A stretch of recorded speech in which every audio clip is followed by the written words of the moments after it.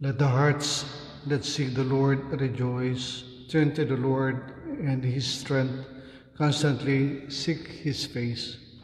Dear the Father, the Son, and the Holy Spirit, the grace of our Lord Jesus Christ and the love of God and the communion of the Holy Spirit be with you all.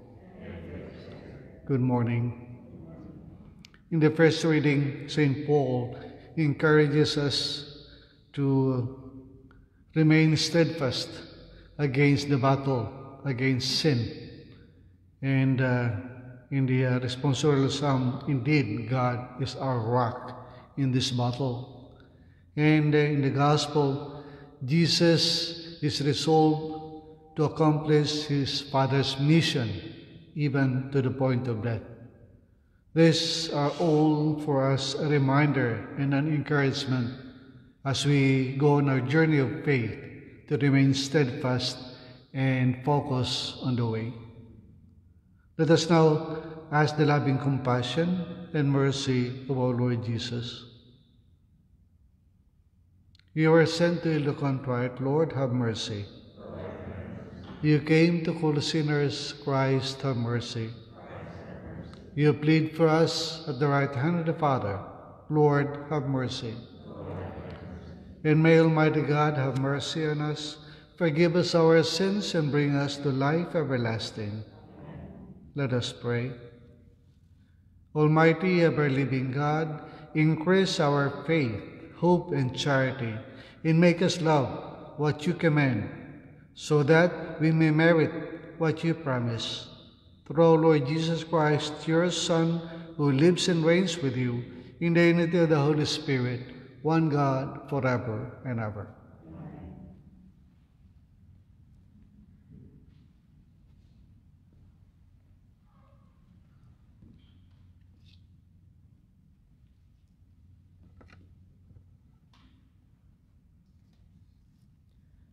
A reading from the letter of St. Paul to the Ephesians. Brothers and sisters, draw your strength from the Lord and from his mighty power. Put on the armor of God so that you may be able to stand firm against the tactics of the devil. For our struggle is not with flesh and blood, but with the principalities, with the powers, with the world rulers of this present darkness, with the evil spirits in the heavens. Therefore, put on the armor of God that you may be able to resist on the evil day, and having done everything, to hold your ground. So stand fast with your loins girded in truth, clothed with righteousness as a breastplate, and your feet shod in readiness for the gospel of peace. In all circumstances, hold faith as a shield to quench the flaming arrows of the evil one and take the helmet of salvation and the sword of the Spirit, which is the Word of God. With all prayer and supplication, pray at every opportunity in the Spirit. To that end, be watchful with all perseverance and supplication for all the holy ones, and also for me, that speech may be given me to open my mouth, to make known with boldness the mystery of the gospel, for which I am an ambassador in chains, so that I may have the courage to speak as I must. The word of the Lord. Responsorial Psalm. Blessed be the Lord my rock. Blessed be the Lord my rock. Blessed be the Lord my rock, who trains my hands for battle my fingers for war. Blessed be the Lord my rock, my mercy and my fortress, my stronghold, my deliverer, my shield in whom I trust, who subdues my people under me. Blessed be the Lord my rock. O God, I will sing a new song to you. With a ten string lyre I will chant your praise, you who give victory to kings and deliver David your servant from the evil sword. Blessed be the Lord, my rock. Alleluia. Alleluia. Alleluia. Blessed is the King who comes in the name of the Lord. Glory to God in the highest, and on earth peace to those on whom his favor rests. Alleluia.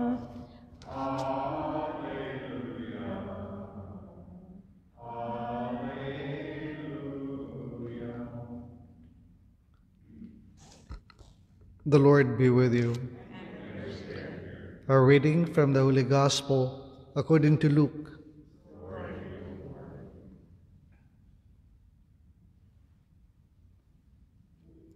Some Pharisees came to Jesus and said, Go away and leave this area because Herod wants to kill you.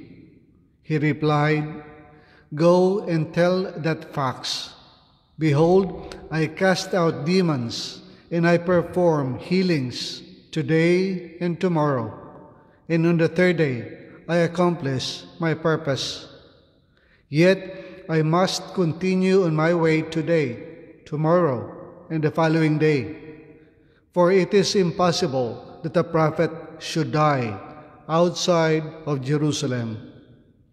Jerusalem, Jerusalem, you who kill the prophets and stone those sent to you.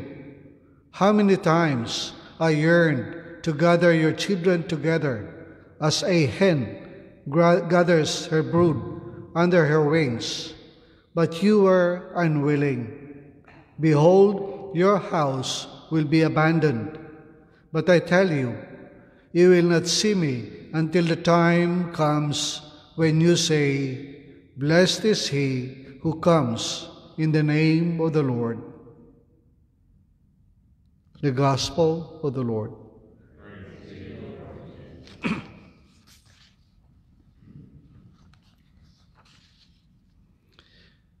Jesus was clearly keen observer of nature and of the animal world. He would have often seen hen clucking about in a village, gathering their brood and watching over them. He too was bent on gathering people. He wanted to form them into a united community, including people who would not normally relate in friendship Jew, the Jews, Samaritans, and Gentiles, rich and poor, law abiding and sinner, male and female. He laments the fact that so many were not willing to be gathered by him. He longed to gather them, but he was powerless before the mystery of human freedom. He would call and invite and plead, but could not coerce. When his desire to save people met with murderous resistance, and they nailed him to the cross, he continued to call and to invite, calling them still. When I am raised up, I will draw people to myself. After the resurrection, his work of calling and inviting and gathering continues to this day. He never ceases his work of gathering people for the kingdom of God. And he continues to await our response day by day. Various influences can block us from responding to the Lord's call. And to resist such forces, we need the strength of the grace of God, the armor of God. For this, says Ephesians, we should pray in the Spirit at all times. Indeed, God always calls and waits for us. God bless us.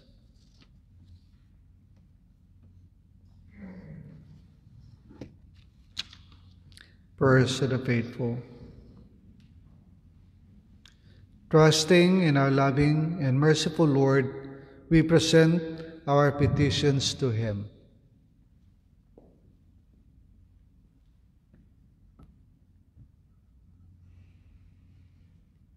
For the Church throughout the world, may God bestow unity among all her peoples.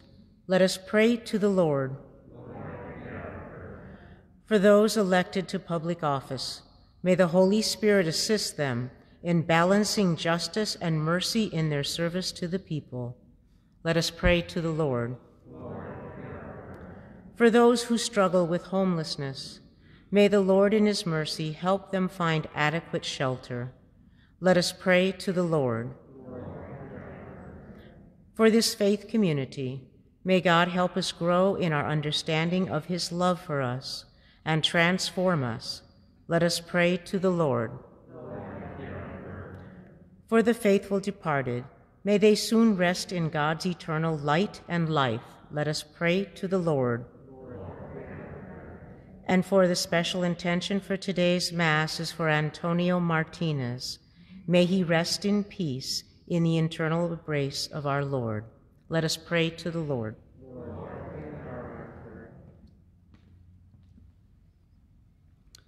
God our Father, look with compassion on our petitions and grant them according to your holy will. We ask this through Christ our Lord.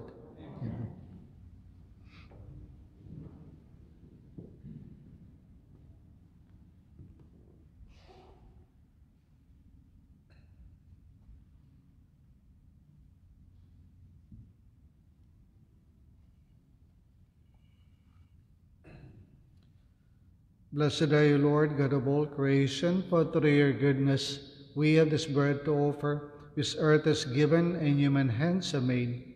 It will become for us a bread of life.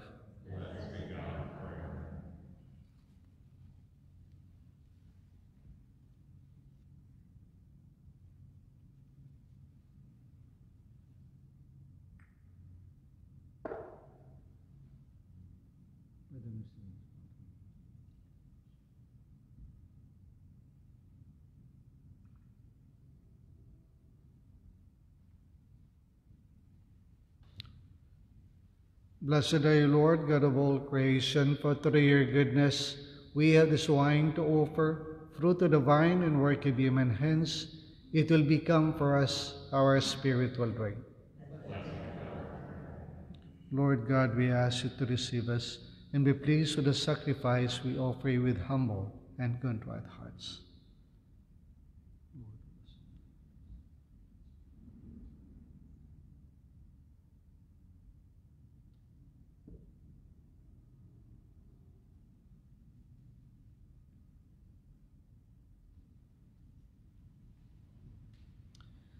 Let us all pray now that this, our sacrifice of bread and wine, may be acceptable to God, the Almighty Father. May the Lord, for the praise and glory of his name, for good and good of all his church. Look, we pray, O Lord, on the offerings we make to your majesty, that whatever is done by us in your service may be directed above all to your glory. We ask this through Christ, O Lord. The Lord be with you. Lift up your hearts. Let us give thanks to the Lord our God. It is truly right and just, our duty and our salvation always and everywhere, to give you thanks, Lord, Holy Father, Almighty and eternal God, through Christ our Lord. His death we celebrate in love. His resurrection we confess with living faith. In His coming in glory we await with unwavering hope. And so with all the angels and saints we praise you, as without end we acclaim. Holy, holy, holy, Lord God of hosts, heaven and earth are full of your glory. O Hosanna in the highest. Blessed is he who comes in the name of the Lord. O Hosanna in the highest.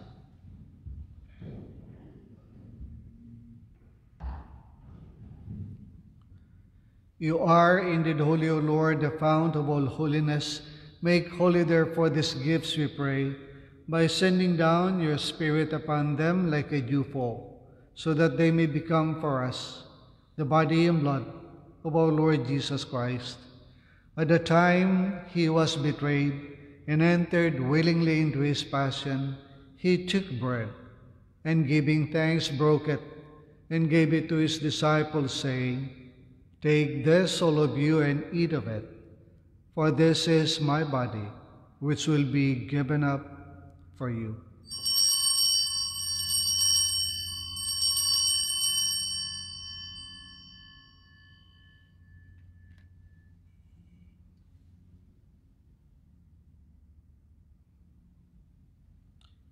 In a similar way, when supper was ended, he took the chalice, and once more giving thanks, he gave it to his disciples, saying, Take this, all of you, and drink from it.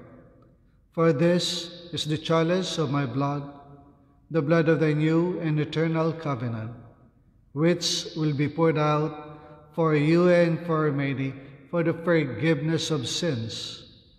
Do this in memory of me.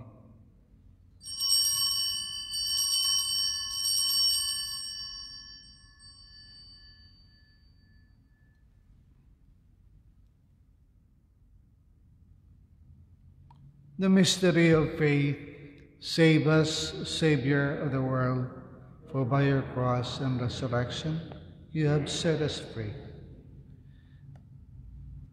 Therefore, as we celebrate the mystery, the memorial of his death and resurrection, we offer you, Lord, the bread of life and the chalice of salvation, giving thanks that you have held us worthy to be in your presence and minister to you. Humbly we pray that partaking of the body and blood of Christ, we may be gathered into one by the Holy Spirit. Remember, Lord, your church spread throughout the world and bring her to the fullness of charity, together with Francis, our Pope, Salvatore, our Bishop, and all the clergy. Remember also our brothers and sisters who have fallen asleep in the hope of the resurrection and all who have died in your mercy. Welcome them into the light of your face. Have mercy on us all, we pray, that we blessed Virgin Mary, Mother of God, we blessed Joseph, her spouse, we the blessed apostles, and all the saints who have pleased you throughout the ages, we may merit to be course to eternal life, and may praise and glorify you through your Son, our Lord Jesus Christ.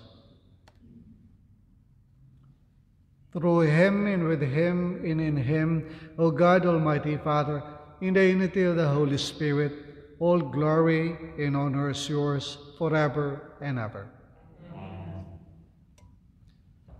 At the Savior's command, informed by divine teaching, we dare to say, Our Father, who art in heaven, hallowed be thy name.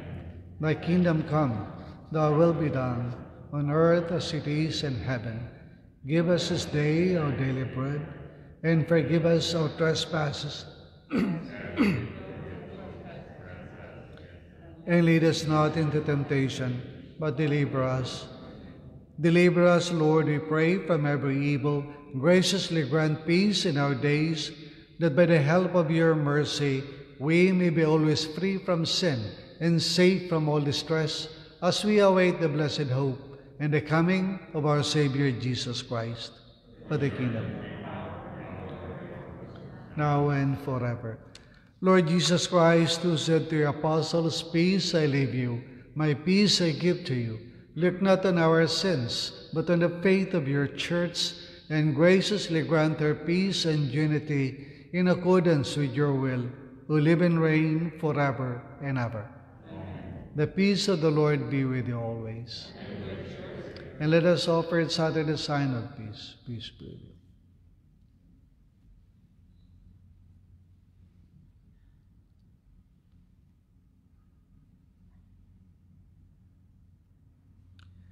Lamb of God, you take away the sins of the world, have mercy on us.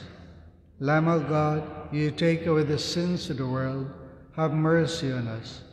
Lamb of God, you take away the sins of the world, grant us peace.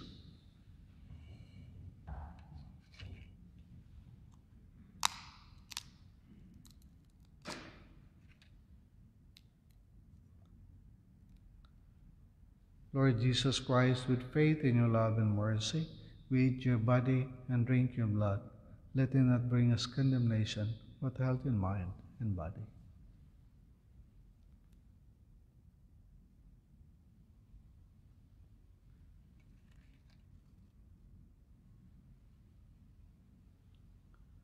Behold the Lamb of God, behold him who takes away the sins of the world. Blessed are those who are called to the supper of the Lamb. Lord, I am not worthy that you should enter under my roof, but only say the word, and my soul shall be healed.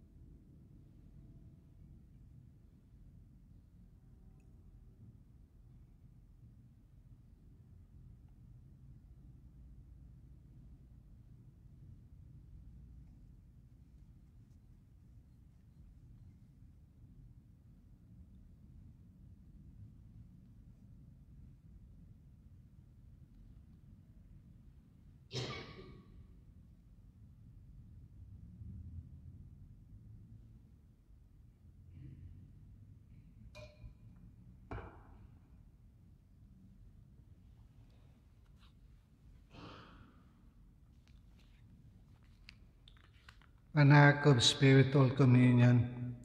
My Jesus, I believe that you are present in the most holy sacrament. I love you above all things, and I desire to receive you into my soul.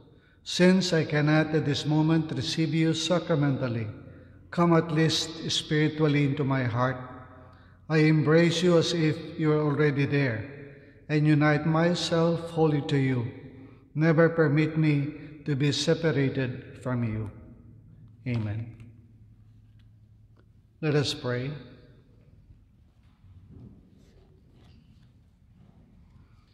May your sacraments, O Lord, we pray, perfect in us what lies within them, and that what we now celebrate in signs may one day possess in truth. We ask this through Christ, O Lord. The Lord be with you. And may Almighty God bless us all, the Father, and the Son, and the Holy Spirit. The Mass is ended. Let us go in peace to love and serve the Lord. A good day to all.